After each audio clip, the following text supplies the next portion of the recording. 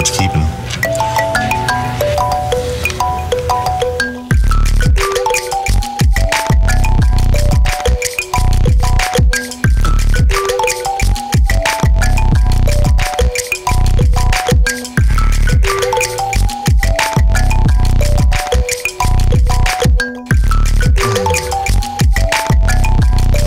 Felt the need to make a dookie.